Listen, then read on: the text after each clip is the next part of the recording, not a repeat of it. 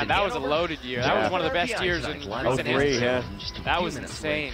From the face off your teams, Yeah. and we'll take you live over there Start again. Ryan Bullock has it now. He's out on the uh, special teams. Dropped it back to uh, Robinson across now to Neiley. Neiley trying to thread the needle off the crossbar and a score!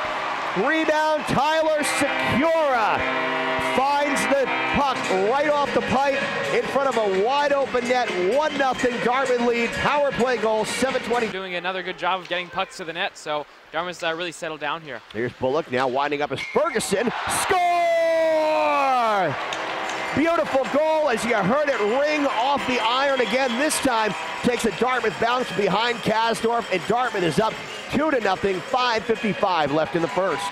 I was looking at the goalie there, and all of a sudden this huge seam just opened up in front of him, and uh, great shot there. At Men's hockey at Dartmouth.edu. Shorthanded attempt here for the uh, Engineers is absolutely gorgeous. Had Crema connected on that one because he had a wide open look at the net. Looked like it was just one too many passes there as the puck is uh, scrambled all in front, and it goes in. And it's going to be a goal Wow. here for the Big Green, uh, not the Big Green, excuse me, for RPI, as uh, that was kind of weird there, as it was uh, ramped straight up in the air, and you had about three Dartmouth players trying to bat it out of the air, and I think what might have happened is we can't see it from this angle. It might have just rolled down the back of James Kruger into the net. With that, uh, RPI cuts the lead to within one.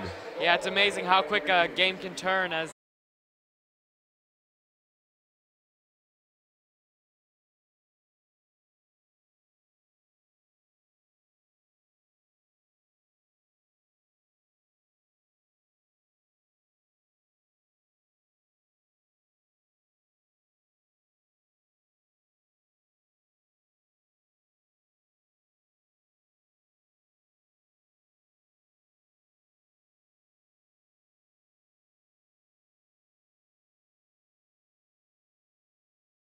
It'll be cleared down the length of the ice by Jack Barry, and Barry's got it. He's coming in alone for a shorthanded opportunity. He gets pulled down. Are we going to see maybe another penalty shot?